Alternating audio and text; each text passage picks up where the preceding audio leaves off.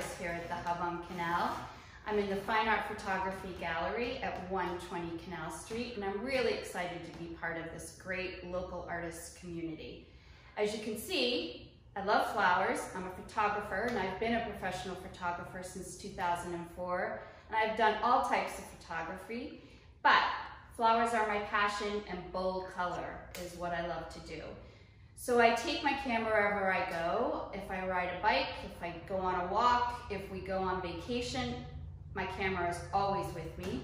And I love to capture nature. Even if I'm on an assignment for something else, I'm usually photographing the flowers on the side to use later.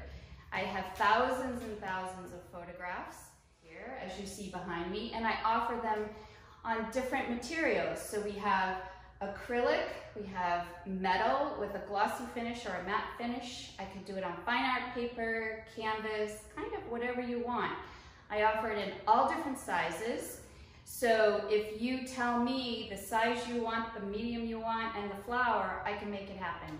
I also offer a line of fine art greeting cards. They're printed with archival ink on archival paper, so they are quality enough to hang and frame. So you can give that, they're blank inside, you can use them for any reason, and they're a great gift.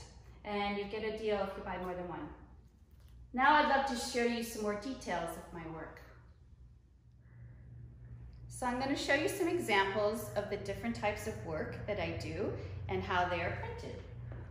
So this right here is an acrylic, and as you can see, there's dimension to it, and then there's a float mount on the back that's really easy to hang and it's really lightweight. This image is called Seeing Double. It's a water lily and the pond, the real pond, was a murky dark green and it was really ugly.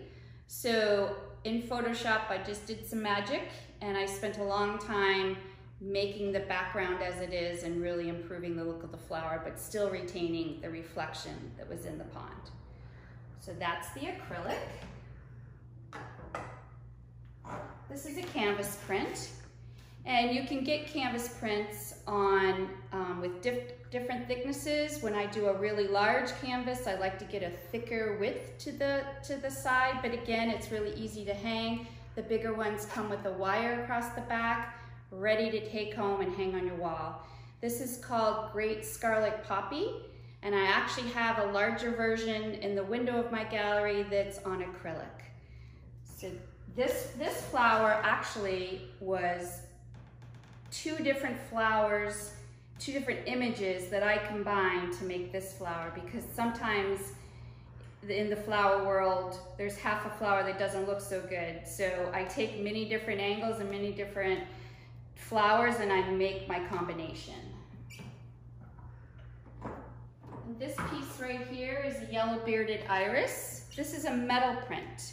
And this has a matte finish because if you're gonna hang it in a place with a lot of reflection or light, you might wanna get a matte finish so that you can see the image at different angles. I love the glossy finish, but then if you get reflections on it. So it, again, it's really thin.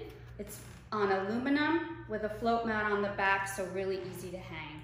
And this can go large. I also have it as a greeting card. You can get this on any type, of medium like a print a canvas, or an acrylic.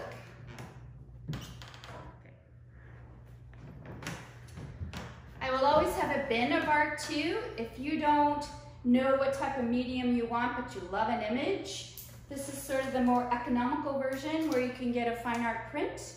And you can also say, you know, Lisa, I love those twin orchids up there, but could you have something smaller and can I just get a print? Absolutely. I can have it done for you. I can have it shipped to you, no problem. But these will always be here.